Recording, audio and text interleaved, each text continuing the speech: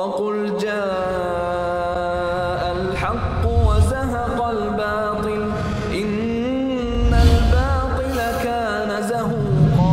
الله أكبر الله أكبر. السلام عليكم ورحمة الله وبركاته. الحمد لله رب العالمين والصلاة والسلام على سيد الأنبياء والمرسلين وعلى آله وصحبه ومن تبعهم بإحسان إلى يوم الدين. أما بعد محترم ناظرین آج کے اس دور میں جبکہ سماج میں بہت ساری برائیاں پنپ رہی ہیں، آج ہماری گفتگو کا عنوان ہے کہ اس دور میں خواتین کی کیا ذمہ داریاں ہیں۔ ناظرین، پہلی بات تو میں یہ بتا دوں کہ ذمہ داری صرف خواتین کی نہیں ہے۔ سماج بگڑا ہے تو مردوں سے بھی بگڑا ہے، عورتوں سے بھی بگڑا ہے، جوانوں سے بھی بگڑا ہے، بوڑھوں سے بھی بگڑا ہے۔ اس سماج کی اصلاح میں، اس کے سدھار میں سب کی ذمہ داری ہے۔ اللہ کے نبی صلی اللہ علیہ وسلم کی حدیث سے آپ فرماتے ہیں کلکم رائم و کلکم مسعول تم میں سے ہر آدمی ذمہ دار ہے اور اس کی ذمہ داری کے بارے میں قیامت کے دن اس سے پوچھا جائے گا۔ اللہ کے پیارے نبی صلی اللہ علیہ وسلم مسلم شریف کی ایک حدیث میں فرماتے ما من عبد یسترعیہ اللہ رعیتا ثم یموت وهو غاش فی رعیتہ لا يدخل الجنہ۔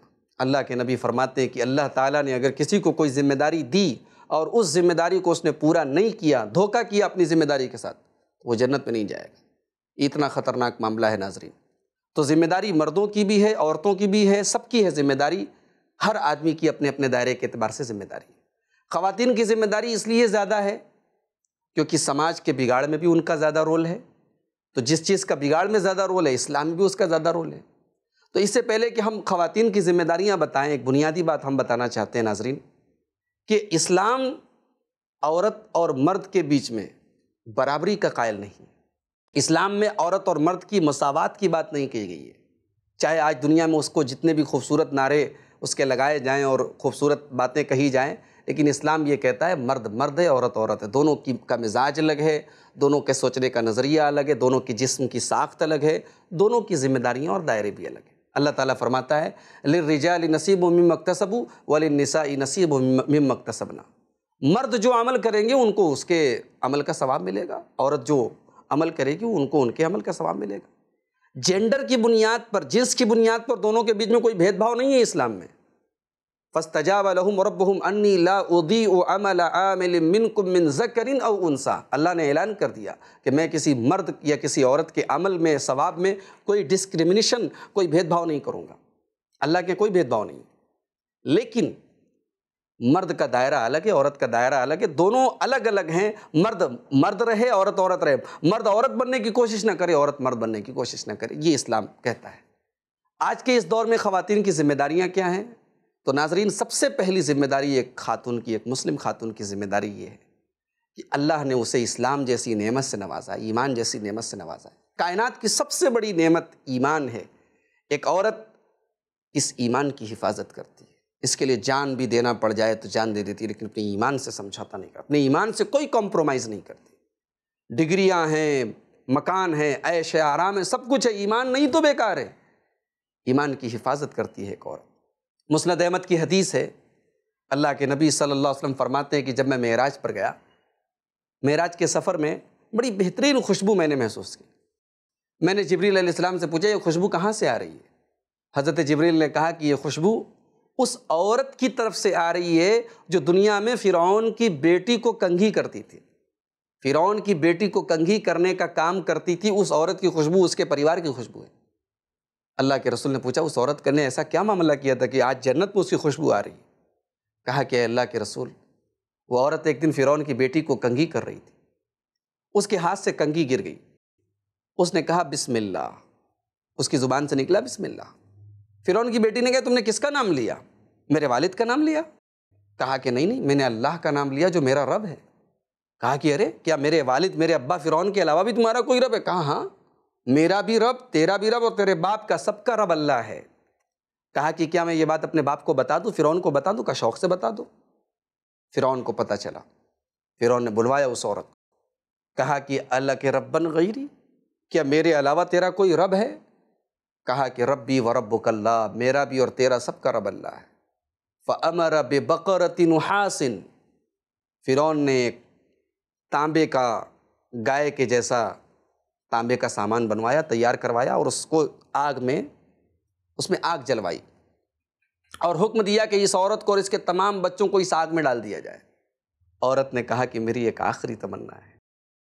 اس آگ میں ڈالنے کے بعد میری اور میرے پریوار کی، میرے بچوں کی جو ہڈیاں بچ جائیں جو راکھ بچ جائے ان کو کسی کپڑے میں لپیٹ کے دفن کر دینا۔ فرعون نے کہا، ٹھیک ہے، تمہاری یہ انتم اچھا آخری خواہش ہم پوری کریں گے۔ مسند احمد کے الفاظ ہیں اللہ کے پیارے رسول فرماتے ہیں کہ اس عورت کے ایک ایک بچے ایک ایک کر کے اس آگ میں ڈالتے چلے گئے۔ آخر میں وہ عورت بچی اور اس کی گود میں دودھ پیتا بچہ بچہ ایک ماں کو اپنے بچے سے جو محبت ہوتی ہے وہ بیان کے باہر ہے۔ عورت اپنی جان تو دینے کے لیے تیار ہے دودھ پیتا گود کا بچہ ہے۔ عورت جھجکنے لگی کہ کیا کروں؟ اللہ تعالیٰ نے اس گود کے بچے کو، اس دودھ پیتے بچے کو زبان دے دی، گویائی دے دی۔ وہ بچہ کہتا ہے، یا امی ہے میری امی جان اقتہمی اس آگ میں کود جا۔ فعن عذاب دنیا احون من عذاب النار۔ دنیا کا عذاب آسان ہے، جہنم کا عذاب مشکل ہے۔ اور وہ عورت اپنے بچے سمیت اس آگ میں چلی گئی۔ محترم ناظرین، اس عورت نے ایک مثال قائم کی، اپنے ایمان، اپنی توحید کی حفاظت کے لیے اس نے اپنی جان دے دی۔ دنیا میں ایسی بہت ساری مثالیں ہمیں ملتی ہیں۔ فرعون کی بیوی حضرت آسیہ رضی اللہ تعالیٰ نے فرعون اتنا بڑا ظالم، اللہ نے اس کی بیوی کو، حضرت آسیہ کو ایمان کی توفیق دی۔ حضرت آسیہ نے اپنے شوہر کی ملکہ، فرعون کی ملکہ ہونے کے باوجود ایمان قبول کیا، شوہر کا محل چھوڑنا پڑا، تکلیفیں جھیلنی پڑی، لیکن حضرت آسیہ نے تمام تکلیفیں برداشت کر لی اللہ نے حضرت آسیہ کو قیامت تک کے لیے مسلمانوں کے لیے مثال بنا دیا۔ اللہ نے قرآن میں کہا وزرب اللہ مسل الزین آمن امراۃ فرعون۔ اللہ نے ایمان والوں کے لیے مثال بنایا ہے۔ فرعون کی بیوی حضرت آسیہ کو از قالت رب ابن لی اند کبیتن فی الجنہ جب انہوں نے اللہ کی بارگاہ میں دعا کیا اے اللہ فرعون کے محل سے میں بے گھر ہو گئی۔ فرعون کا تخت و تاج اور دولت چلی گئی۔ لیکن اے اللہ، میں تجھ سے جنت کا محل مانگتی ہوں۔ اے اللہ، تو جنت میں مجھے محل دے اور اپنی قربت دے، اپنی محبت دے۔ اور مجھے فرعون جیسے ظالم سے نجات دے دے۔ ناظرین، ایک عورت ایمان کی ایسے حفاظت کرتی۔ ایک عورت جب اس کا ایمان مضبوط ہوتا ہے تو دنیا کی تمام تکلیفیں اس کے لیے آسان ہو جاتی۔ حضرت حاجرہ کو دیکھو۔ لخت جگر ان کا دودھ پیتا بچہ اور حضرت حاجرہ کو حضرت ابراہیم چھوڑ کے جا رہے مکہ کی بے آب و گیا سرزمین پہ۔ حضرت حاجرہ کہتی ہیں، الا منتت رکنا اے میرے سرتاج، اس صحرا میں، اس جہاں اناج کا ایک دانہ نہیں، پانی کا ایک قطرہ نہیں، ایک عورت کو، ایک بچے کو کس کے حوالے چھوڑ کے جا رہے؟ حضرت ابراہیم نے کوئی جواب نہیں دیا۔ حضرت حاجرہ نے پوچھا، اللہ امر کا بھی کہیں ایسا تو نہیں کہ یہ اللہ کا حکم ہے؟ اللہ کا فرمان ہے، اللہ کا امتحان ہے، اللہ کی آزمائش ہے۔ حضرت ابراہیم نے اشارے سے کہا کہ ہاں یہ اللہ کا امتحان ہے۔ کہا کہ ایزن لا یزیون اللہ ابدا۔ اگر یہ اللہ کا امتحان ہے تو ٹھیک ہے، آپ جائیے۔ اللہ ہمیں برباد نہیں کرے گا، اللہ ہمیں رسوا نہیں کرے گا۔ ناظرین، غور کریں۔ میری مائیں بہنیں، غور کریں کہ ایک ایک عورت کا ایمان جب مضبوط ہوتا ہے، کیسی طاقت اس کے اندر پیدا ہو جائے حضرت خدیجہ کو دیکھیے۔ اللہ کے رسول کی سب سے پہلی بیوی ہیں۔ اور ہر مشکل موقع پر آپ کا ساتھ دیا ہے۔ اللہ کے رسول صلی اللہ علیہ وسلم کے اوپر تین سال ایسے بھی گزرے جب آپ کے پورے خاندان کا بائیکاٹ کر دیا گیا۔ تین سال تک حضرت خدیجہ نے اپنے شوہر کے لیے، اپنے رسول کے لیے پتے چبا کے اور چمڑے چبا کے زندگی گزاری ہے۔ یہ ایک بیوی جب ایمان کے راستے پر آتی ہے تو ایمان کی حفاظت کے لیے پتے بھی چبانے کے لیے تیار ہو جاتی ہے۔ ایک عورت کے اندر محترم ناظرین جب ایمان کی طاقت پیدا ہوتی ہے تو وہ اپنے ایمان کی حفاظت کے لیے درختوں کے پتے اور چمڑے تک چبانے کے لیے تیار ہو جاتی ہے۔ ایک مسلمان عورت کی سب سے پہلی ذمہ داری محترم ناظرین یہی ہے کہ وہ اپنے ایمان کی حفاظت کرے۔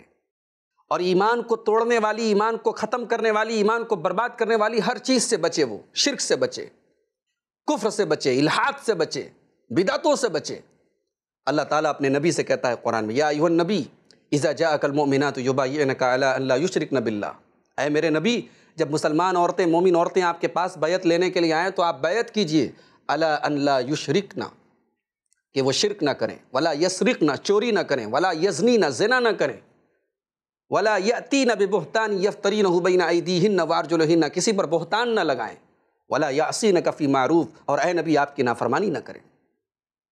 تو ایک عورت ایمان کے خلاف جتنی چیزیں ہوتی ہیں، ان تمام چیزوں سے بچتی ہے۔ جادو سے بچتی ہے، جادو ٹونے سے بچتی ہے۔ جادو بھی تو ایمان کے خلاف ہے، جادو بھی تو کفر ہے، جادو بھی تو شرک ہے۔ اللہ کے پیارے نبی نے جن سات گناہوں کو بڑے بڑے گناہ کہا ہے، ہلاک کر دینے والے گناہ ان میں سے گناہ جادو کرنا ہے۔ تو محترم ناظرین، ایک مسلم خاتون کی سب سے پہلی ذمہ داری یہ ہے کہ وہ اپنے ایمان کی حفاظت کرے۔ دوسری ذمہ داری، نماز کی پابندی کرے، عبادتوں کی پابندی کرے۔ اللہ کے پیارے نبی صلی اللہ علیہ وسلم فرماتے ہیں ایزا صلت المرأت خمسہا جب کوئی عورت پانچ ٹائم کی نماز کی پابندی کرے، وسامت شاہ رہا، رمضان کے روزے رکھے وہ اطاعت زوجہا اپنے شوہر کی اطاعت کرے وہ حفظت فرجہا اور اپنی شرمگاہ کی حفاظت کرے۔ دخلت من ای ابواب الجنت شاعت، وہ جنت کے جس دروازے سے چاہے جنت میں جا سکتی۔ محترم ناظرین، ایک عورت نماز کی پابندی کرتی ہے اور نماز کی خود بھی پابندی کرتی ہے اور اپنے پریوار اور اپنی فیملی، اپنے شوہر، اپنے بچوں کو بھی نماز کے لیے جگاتی ہے، نماز کے لیے اٹھاتی ہے۔ اللہ کے پیارے نبی صلی اللہ علیہ وسلم فرماتے ہیں، رحم اللہ امراۃ قامت من اللیل۔ اللہ کی رحمت نازل ہو، اللہ کی رحمت نازل ہو اس عورت کے اوپر جو رات میں تہجد کی نماز پڑھنے کے لیے اٹھتی ہے، وہ ای قزت زوجہا اور اپنے شوہر کو بھی اٹھاتی ہے۔ اپنے شوہر کو بھی اٹھاتی ہے۔ ان ابا اگر شوہر اٹھنے سے انکار کر دیتا ہے، نزحت فی وجہ الماء، تو اپنے شوہر کے چہرے پر پانی ڈالتی ہے، لیکن اسے اٹھاتی ہے۔ آج شوہر اور بیوی مل کر کے گھومنے جاتے ہیں، مل کر کے مووی دیکھنے جاتے ہیں، مل کر کے بیٹھ کے ٹی وی دیکھتے ہیں، مل کر کے پارکوں کی سیر کرنے جاتے ہیں، شہروں کی سیر کرنے جاتے گھومتے ہیں۔ لیکن نیکی کے کاموں میں، عبادت کے کاموں میں ایک دوسرے کا سپورٹ نہیں کرتے۔ اللہ کے رسول کی یہ حدیث ہمیں بتا رہی ہے کہ بہترین بیوی وہ ہے، بہترین شوہر وہ ہے جو نیکی کے کاموں میں، اچھے کاموں میں ایک دوسرے کا سپورٹ کرے۔ ایک مسلمان عورت کی تیسری ذمہ داری آج کے اس دور میں محترم ناظرین یہ ہے کہ وہ دین کا علم حاصل کرے، وہ قرآن کا مطالعہ کرے، قرآن کی تفسیریں پڑھے، وہ حدیث پڑھے، وہ مسائل کو سمجھے، ایک عورت کے تعلق سے جو چیزیں ہیں، جو ضروری چیزیں، ان کو جانے۔ اللہ تعالیٰ نے قرآن کریم کے بائیسویں پارے میں اپنے پیارے نبی صلی اللہ علیہ وسلم کی بیویوں کو مخاطب کر کے فرمایا، وَذْكُرْنَ مَا يُتْلَى فِي بُيُوتِكُنَّ مِنْ آيَاتِ اللَّهِ وَالْحِكْمَةِ اے نبی کی عورتوں، اے نبی کی بیویوں، تمہارے گھروں میں جو قرآن پڑھا جاتا ہے، جو حدیث پڑھی جاتی ہے، اس کو یاد کرو، اس کا ذکر کرو۔ ناظرین، آپ دیکھیں گے ہمارے گھروں میں جب عورتیں سیریل دیکھتی ہیں، تو اگلے دن بیٹھ کے ڈسکشن ہوتا ہے کہ اس سیریل میں یہ ہوا، اس سیریل میں وہ ہوا۔ یہاں اللہ تبارک و تعالیٰ کہہ رہا ہے کہ مسلمان کے گھر میں بھی ڈسکشن ہونا چاہیے، مگر کس چیز کا؟ قرآن کا، حدیث کا، دینی مسائل کا، آخرت کو بہتر بنانے کا، جنت کو بہتر بنانے کا، بچوں کی تربیت کا، دین کے معاملات کا ڈسکشن ہونا چاہیے۔ وَذْكُرْنَ مَا يُتْلَى فِي بُيُوتِكُنَّ مِنْ آيَاتِ اللَّهِ وَالْحِكْمَةِ۔ اے مسلمان عورتوں تمہارے گھروں میں جو قرآن پڑھا جائے، جو حدیث پڑھا جائے، اس کو ذکر کرو، اس کا ڈسکشن کرو، اس کو یاد کرو۔ اللہ کے پیارے نبی صلی اللہ علیہ وسلم فرماتے طلب العلم فریضت علی کل مسلم، ہر مسلمان پر مرد ہو، عورت ہو، دین کا جو بیسک علم ہے، دین کی جو بنیادی نالج ہے، ایمان کے بارے میں، توحید کے بارے میں، شرک کے بارے میں، نماز کا ضروری مسئلہ، روزے کا ضروری مسئلہ، زکوٰۃ کا ضروری مسئلہ، یہ ہر مسلمان کو جاننا ضروری ہے۔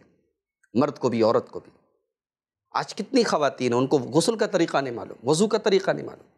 ان کو حیض کے تعلق سے مسائل نہیں معلوم، ان کے روزے کے تعلق سے مسائل نہیں معلوم کچھ بتانے والا نہیں، وہ پوچھنے والی نہیں۔ اما عائشہ رضی اللہ تعالیٰ عنہ فرماتی نعم النساء نساء الانصار۔ انصار کی عورتیں سب سے بہترین عورتیں ہیں۔ لم یمنعہن الحیاء وان یتفقہن فی الدین۔ دین سیکھنے کے لیے شرماتی نہیں ہیں عورت شرمیلی ہوتی ہے، مگر انصار کی عورتیں دین سیکھنے کے سلسلے میں شرم و حیا سے کام نہیں لیتی۔ تو محترم ناظرین ایک مسلمان عورت کی یہ تیسری ذمہ داری ہے، وہ دین کا علم حاصل کرے۔ اللہ کے رسول صلی اللہ علیہ وسلم کے زمانے میں صحابیات کو ایک شوق تھا، ایک لگن تھی، ایک تڑپ تھی، ایک ولولہ تھا کہ کیسے ہم دین سیکھیں۔ بخاری کی روایت ہے، اللہ کے رسول کے پاس عورتیں آتی ہیں۔ غلبنا علی کر رجال اے اللہ کے رسول، کیا دین صرف مردوں کے لیے، ہمارے لیے نہیں ہے مردوں کو ہی دین پہنچا رہے، ہمیں نہیں پہنچا رہے۔ ہمیں بھی کوئی ایک دن دیجیے۔ اللہ کے رسول نے ایک دن طے کیا۔ اور ایک ہفتے میں دن طے کیا، اس دن آپ عورتوں کے لیے تقریر کرتے، نصیحت کرتے، انہیں دین کے مسائل بتاتے، ان کے سوالوں کا جواب دیتے۔ ہمارے یہاں بھی ایسا انتظام ہونا چاہیے، عورتوں تک دین پہنچانا چاہیے۔ ہماری بہت بڑی کمی ہے کہ آج خواتین تک دین اور ہمارا یہ آئی پلس چینل بھی اس سلسلے کی ایک اہم کڑی ہے کہ یہ گھر میں آپ خواتین کو، بچوں کو، فیملی کو دکھائیں۔ اس چینل پر جو دین کی باتیں، جو دینی مسائل بیان کے جا رہے ہیں، ان تک دین کی یہ باتیں پہنچے۔ یہ ہم سب کی ذمہ داری ہے، محترم ناظرین۔ ایک عورت کی چوتھی ذمہ داری۔ مسلمان عورت کی چوتھی ذمہ داری یہ ہے کہ وہ اپنے بچوں کی اسلامی تربیت کرتی ہے۔ بچے کے بننے بگڑنے میں ماں باپ کا بڑا کردار ہوتا ہے۔ اللہ کے پیارے رسول صلی اللہ علیہ وسلم فرماتے ہیں، مسلم شریف کی حدیث ہے، کل مولود یولد علی الفطرہ۔ ہر بچہ مسلمان پیدا ہوتا ہے، ہر بچہ فطرت پر پیدا ہوتا ہے۔ فَأَبَوَاهُ يُحَوِّدَانِهِ وَيُنَصِّرَانِهِ وَيُمَجِّسَانِهِ ماں باپ اس کو یہودی بناتے ہیں ماں باپ عیسائی بناتے ہیں ماں باپ مجوسی بناتے ہیں ماں باپ مشرک بناتے ہیں ماں باپ اس کو غلط بناتے۔ ہیں بچہ آپ کا ہے، آپ کے کنٹرول میں ہے۔ آپ بچے کی جیسی تربیت کریں۔ ایک تربیت وہ بھی ہوتی ہے جو حاجرہ نے اسماعیل کی کی تھی۔ کبھی آپ نے غور کیا محترم ناظرین؟ کہ اسماعیل علیہ السلام ابھی دودھ پی رہے ہیں، باپ سے الگ ہو گئے، باپ رہتے ہیں کہاں؟ فلسطین میں، لیکن اسماعیل اپنی ماں کے ساتھ رہتے ہیں مکہ کی بے آب و گیا سرزمین پر۔ لیکن یہی لڑکا جب جوان ہوتا ہے اور اللہ تعالیٰ کی طرف سے امتحان حضرت ابراہیم کا ہوتا ہے کہ جاؤ اپنے جوان بیٹے کی قربانی کر دو، تو بیٹا فوراً تیار ہو جاتا ہے۔ قرآن نے وہ جملے نقل کیے ہیں اسماعیل کے۔ کہ حضرت ابراہیم جو اپنے بیٹے سے کہتے ہیں کہ اے بیٹے میں نے خواب دیکھا ہے کہ میں تجھے ذبح کر رہا ہوں، تو بیٹا کیا کہتا ہے؟ یا ابتف الما تؤمر ستجدنی انشاءاللہ من الصابرین۔ اے ابا جان، آپ کو جو حکم ملا ہے، آپ پورا کر ڈالیے، آپ کا بیٹا صبر کر لے گا۔ علامہ اقبال نے بڑی اچھی بات کہی۔ یہ فیضان نظر تھا، یا کہ مکتب کی کرامت تھی۔ اسماعیل نے کون سی اسکول میں پڑھا تھا؟ کون سے مدرسے میں پڑھا تھا؟ کون سے مکتب میں پڑھا تھا؟ یہ فیضان نظر تھا، یا کہ مکتب کی کرامت تھی؟ سکھائے کس نے اسماعیل کو آداب فرزن تھی اسماعیل کو یہ آداب سکھانے والی ان کی ماں تھی، حاجرہ تھی۔ محترم ناظرین، نسلوں اور قوموں کی تربیت کرنے میں ایک عورت کا بڑا کردار ہوتا ہے۔ اس امت میں اگر بہترین لوگ پیدا ہوئے ہیں تو اس لیے پیدا ہوئے کہ ان کی ماؤں نے ایسی تربیت کی ہے۔ امام بخاری امام بخاری بنے تو اس لیے بنے کیونکہ امام بخاری کی ماں نے ان کو امام بخاری بنایا۔ امام ابو حنیفہ رحمۃ اللہ علیہ، امام ابو حنیفہ بنے تو اس لیے بنے کہ ان کی ماں نے ان کو، ان کی ایسی تربیت کی۔ علامہ ابن تیمیہ، اگر ابن تیمیہ ہوئے تو اس لیے ہوئے کہ ان کی ماں نے ایسی تربیت کی۔ ماں کی تربیت کا بڑا رول ہوتا ہے بچوں کے اوپر۔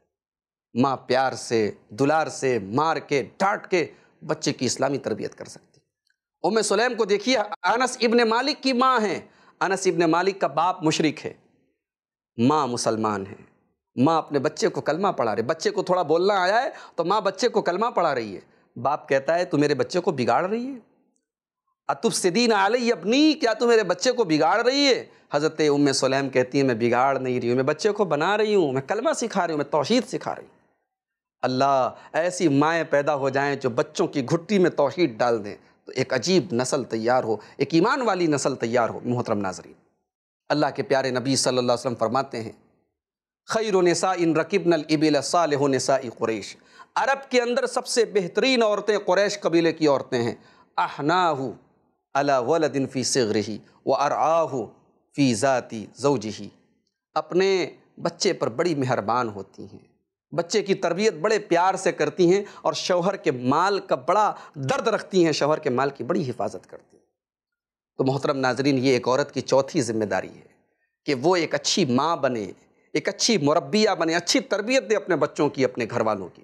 محترم ناظرین، پانچویں ذمہ داری ایک مسلمان عورت کی یہ ہے کہ سماج میں دین کی دعوت کا کام، بگڑتے ہوئے سماج کو سدھارنے کا کام، یہ مرد بھی کریں اور عورتیں بھی کریں، یہ ان کی بھی ذمہ داری ہے۔ اللہ تعالیٰ نے سورہ توبہ کے اندر فرمایا، والمؤمنون والمؤمنات بعضهم اولیاء بعض۔ مومن مرد اور مومن عورتیں ایک دوسرے کے مددگار ہوتے ہیں، ایک دوسرے کے سپورٹر ہوتے ہیں۔ کس چیز میں؟ یأمرون بالمعروف وینہون عن المنکر ویقیمون الصلاة ویؤتون الزکاة مومن مرد بھی اور مومن عورتیں بھی نیکی کا حکم دیتے ہیں۔ کوئی نماز نہیں پڑھتا، نماز کا حکم دیتے ہیں۔ نماز کی عادت ڈلواتے ہیں، نماز شروع کرواتے ہیں۔ کوئی شراب پیتا ہے، شراب چھوڑوا دیتے ہیں۔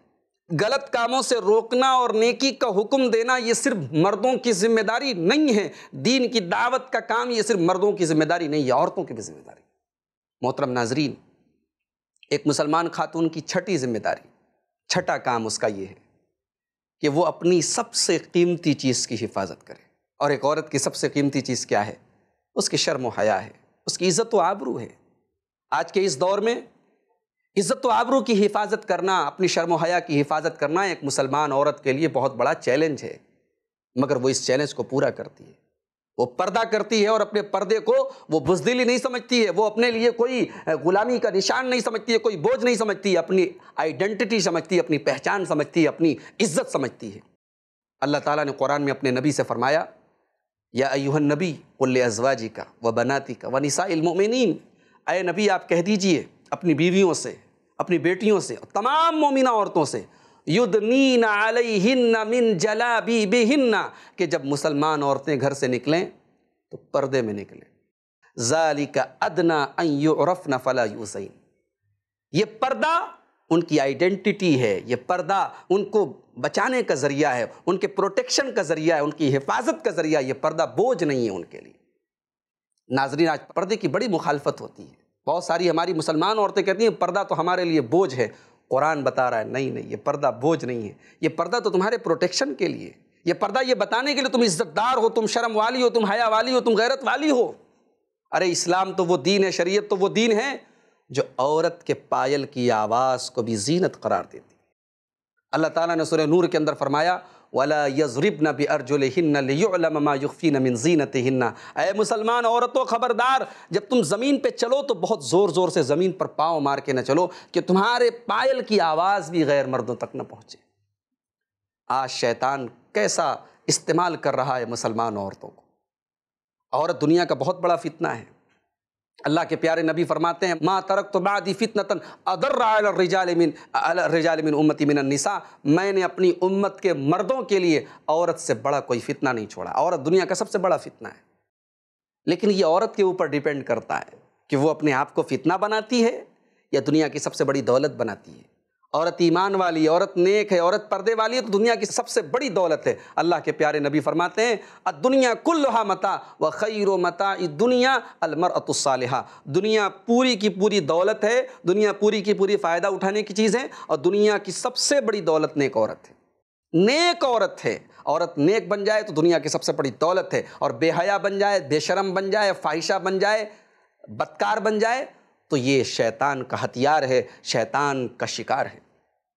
اللہ کے پیارے نبی صلی اللہ علیہ وسلم فرماتے المرأت عورت عورت چھپانے کی چیز ہے۔ عورت پردے میں رکھنے کی چیز ہے۔ اذا خرجت، جب یہ پردے سے باہر نکلتی ہے استشرفہ شیطان، تو شیطان اپنے مشن میں لگ جاتا ہے، شیطان اپنے کام میں لگ جاتا ہے۔ تو یہ ایک عورت کی چھٹی ذمہ داری ہے محترم ناظرین، کہ وہ اپنی شرم و حیا کی، اپنی عزت و آبرو کی حفاظت کرے۔ ایک عورت کی ساتویں ذمہ داری کہ وہ اپنے گھر کے ماحول کو اسلامی بنائے۔ مسلمان کا گھر ہے، صبح سویرے ٹی وی کی آواز آ رہی، میوزک کی آواز آ رہی۔ مسلمان کے گھر سے قرآن کی تلاوت کی آواز نہیں آ رہی۔ اللہ اللہ، مسلمان کے گھر سے ٹی وی سیریل چل رہے ہیں اور غیر اللہ کی، اللہ کو چھوڑ کے غیر اللہ کی عبادت کی آوازیں ٹی وی کے ذریعے نکل رہی ہیں۔ یہ مسلمان کا گھر ہے۔ ایسا گھر مردہ ہے اور یہ مردہ میں نہیں کہہ رہا ہوں، یہ جناب محمد الرسول اللہ صلی اللہ علیہ وسلم فرماتے ہیں۔ مثل البیت الذی یسکر اللہ فی والبیت الذی لا یسکر اللہ فی مثل الحی والمیت۔ اللہ کے نبی فرماتے جس گھر میں اللہ کا نام لیا جائے وہ گھر زندہ ہے، اور جس گھر میں اللہ کا نام نہ لیا جائے وہ گھر مردہ ہے۔ آج ہمارے گھر مردہ ہو رہے ہیں محترم ناظرین۔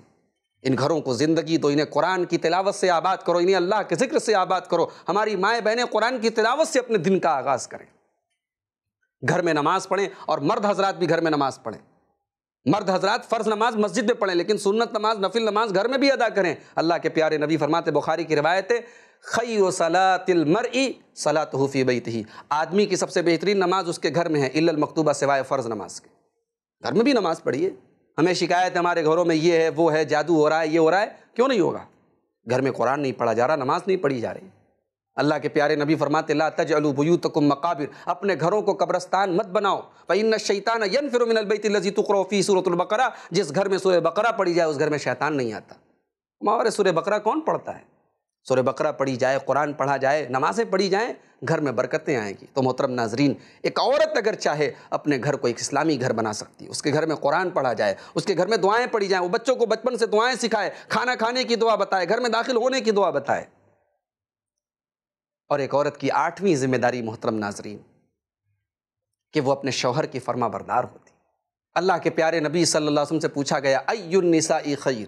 اے اللہ کے رسول، سب سے بہترین عورت کون سی ہوتی ہے؟ آپ نے فرمایا جس کے اندر تین کوالٹی پائی جائے۔ اللہ تصر ہو ایزا نظر، شوہر دیکھے تو خوش ہو جائے۔ وہ تتی ہو ایزا امر، شوہر کوئی بات کہے تو مانے۔ غلط بات نہ مانے، لیکن صحیح بات تو مانے۔ ولا تخالف فی نفسی و مال ہی بما یکرا اور شوہر کے مال کی اور اپنی عزت کی حفاظت کرے۔ شوہر بیوی کا رشتہ دنیا کا سب سے قریبی رشتہ ہوتا ہے۔ ایک مرد اور ایک عورت اس رشتے میں جتنا قریب ہوتے ہیں، دنیا کے کسی اور رشتے میں قریب نہیں ہوتے۔ جسم اور جان ایک ہوتا ہے۔ اس رشتے میں روح کی تڑپ بھی ہے اور جسم کی طلب بھی ہے۔ دونوں ایک دوسرے کے لیے درد سے راحت بھی ہیں اور لذت بھی ہے شوہر اگر بیوی کو اپنی ضرورت کے لیے بلائے تو بیوی انکار نہ کرے۔ اپنے شوہر کو ناراض کر کے یہ عورت کبھی اللہ کو راضی نہیں کر سکتی۔